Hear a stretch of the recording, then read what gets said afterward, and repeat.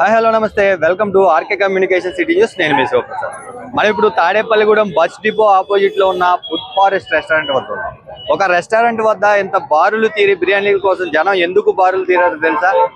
రూపాయికే బిర్యానీ ఇస్తామంటూ తమ మొదటి వార్షికోత్సవం సందర్భంగా రూపాయికే బిర్యానీ ఇస్తామంటూ సోషల్ మీడియాలో కావచ్చు వివిధ రకాలుగా ప్రకటనలు కరపత్రాలు కూడా ము- ముద్రించడం తోటి ఇక్కడ ఉదయం పది పదిన్నర నుంచి కూడా ఇక్కడ బిర్యానీ కోసం అయితే జనం బారులు తీరారని చెప్పాలి.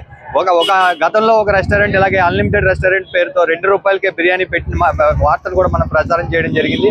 అయితే ఇక్కడ మాత్రం ఒక కండిషన్ అయితే పెట్టారు.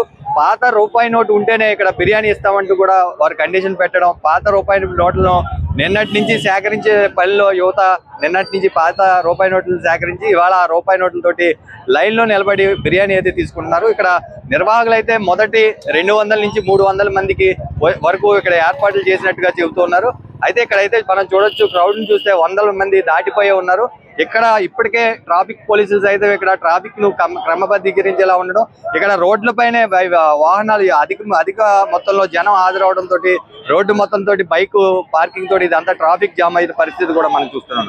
అయితే దీనికి అరికట్టడానికి చర్యలు అయితే పోలీసు యంత్రాంగం తీసుకోవాల్సి ఉంది. ఇక్కడ ఏ విధమైన కొట్లాట్లు కానీ తొక్కిసలాట్లు జరగకుండా పోలీసు యంత్రాంగం దీనిపైన చర్యలు తీసుకోవాల్సిన అవసరం ఎంత? చూస్తూనే ఉండండి ఆర్కే కమ్యూనికేషన్ సిటీ న్యూస్.